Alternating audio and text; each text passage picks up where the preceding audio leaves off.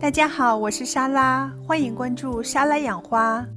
今天呢，来到了 Canadian Tire，那这里呢刚上架了一批玫瑰花。最近呢，有花友在询问比较耐寒的玫瑰花，那今天就来给大家介绍一款非常耐寒的玫瑰花。那它就是我们面前的这个 Modern Fire Glow，它可以耐寒到零下四十度，它非常适合种在美国的北部。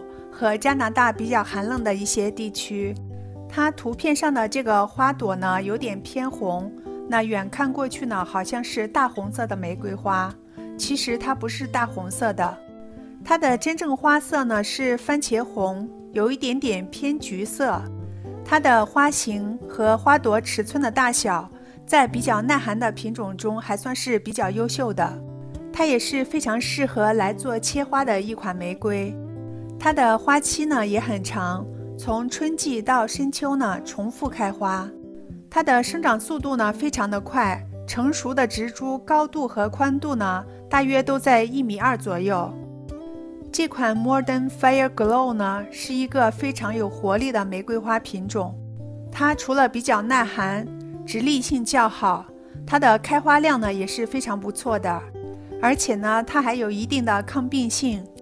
我个人呢还是比较喜欢这款玫瑰花的，无论从它的花色还是花型呢，在比较寒冷的地区来说呢，还是比较特别的。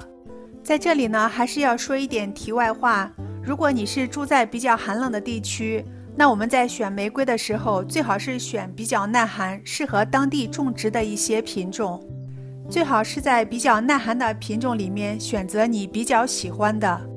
当然，市面上呢有非常多很优秀、很美的一些玫瑰品种，但是有很多像这样的品种都是不耐寒的。你如果在冬季有零下四十度的地区想种植耐寒只有零下二十度的植物，那几乎是不可能的。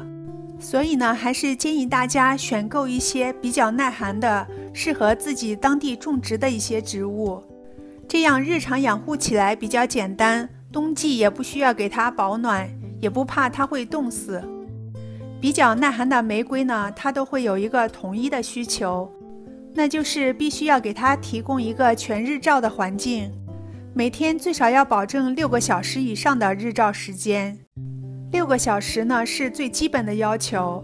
那如果想让你的玫瑰花花开得好，开花量大，八个小时以上的日照时间是最理想的。这个玫瑰品种呢，它属于可食用的玫瑰花，它的花瓣呢可以用来泡茶，或者呢做像玫瑰饼之类的一些点心。这个玫瑰花呢，它几乎是没有香味的。对于比较喜欢玫瑰花香的朋友来说呢，就有点遗憾了。那今天呢，我们就先聊这么多。